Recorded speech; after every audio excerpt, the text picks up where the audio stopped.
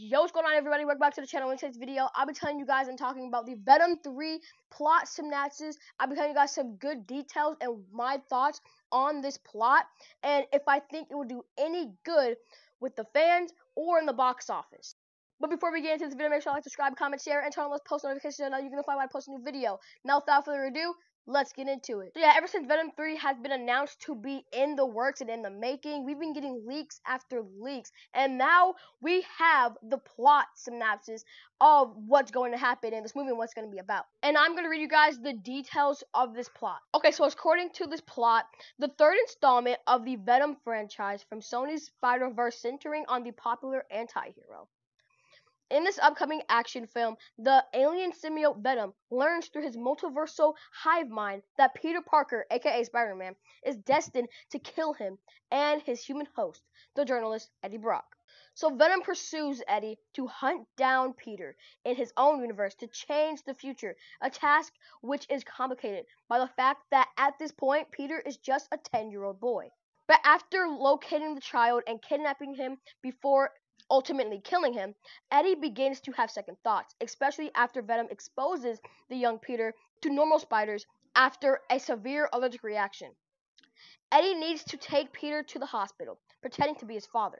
Now, that section of the plot tells us about Peter in this universe. Now, this next section will tell us about the villain of the film. And it continues by saying, but with the symbiote increasingly unhappy with Eddie's place as his host body, Eddie soon realizes that he has more to worry about with the appearance of a powerful new symbiote known as Toxin, an offspring of the murderous Carnage, who has merged with Detective Patrick Mulligan, before vowing to destroy all monsters, including Venom and the young Peter Parker.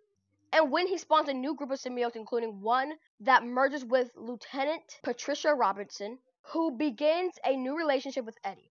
This new deadly alien group threatens to unleash destruction on the entire city of San Francisco but a new heavily armed group known simply as the Jury appears intent on killing all symbiotes in existence, led by Orwell Taylor, whose oldest son was killed previously by Carnage in an attempt to escape prison. And now, threatened on all fronts, Eddie must keep the young Spider Man alive as he faces against both a deadly new group of spawn aliens and a vigilante group that wants to eradicate him as he attempts to keep his own life from falling apart and prevent ultimate carnage from befalling on the people of San Francisco. So if, if you guys didn't understand that plot synopsis, basically all it's talking about is Eddie Brock, aka Venom, finding out that Peter Parker, aka Spider-Man, will kill them in the future. So they try to kill him, but then they find out that Peter Parker is only a 10-year-old boy.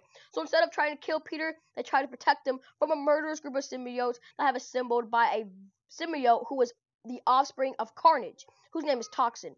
But this group of symbiote are also being hunted down by a sort of military group called the Jury. Now, if you guys don't know who the Jury are, they are basically a group from the comics who have the same motive and origin that they are going to have in this movie. The only difference is that instead of Carnage killing the leader of the jury's son, it was Venom who did it in the comics. But other than that, they're basically the same group, but they are also in the comics, they partnered up with a team called the Foundation to help them achieve their anti-symbiote movement and trying to kill everything. And I don't know if that's what they're gonna do in this movie, but we'll have to watch and find out. Now, according to that plot synopsis, I feel like what they're describing is the symbiote invasion, which is something that happened in the comics. In the comics, the story follows Carnage trying and successfully killing the president. Then the symbiotes wreak havoc on the whole town until they are shortly stopped by a group of good symbiotes. That's just a little like small and short summary of basically what that symbiote invasion is about.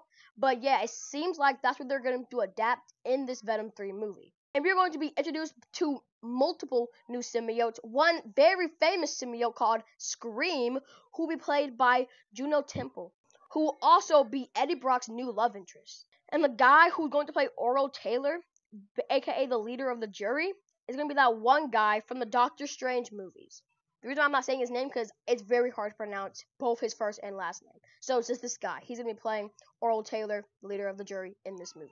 Now for my thoughts on how good the movie's gonna do and if it's just gonna be anything special at all. If you ask me what I think about this plot synopsis, is it sounds a lot like Madame Web. In that movie, there's this villain who figured out that these three girls are going to inevitably kill him, so he just hunts them down until he tries to kill them, but then he fails. Now, if this movie is going to be anything like that, I really hope that they, that they like do it right, or else it's going to end up exactly like how Madame Web ended up, a terrible movie, and it's been voted one of the worst movies in comic book history to ever be invented which is a crazy title. But other than that, I feel like this story definitely has some potential, especially with the symbiote invasion. That is a great story to adapt in live action. But my only other flaw in this is that they're making Peter Parker, aka Spider Man, a 10 year old kid. That is one of the most biggest mistakes that Sony could ever do. This Venom 3 movie has so much potential, and Sony is just just doesn't want to use it for some odd reason. Sony could have a great movie in their hands if only they listen to the fans. The fans know what they want. They want to see Venom fight Spider Man in live action. I know we've already gotten that in Spider Man 3, but fans did not like that and they want a redemption arc for this battle. And Sony could give the fans that.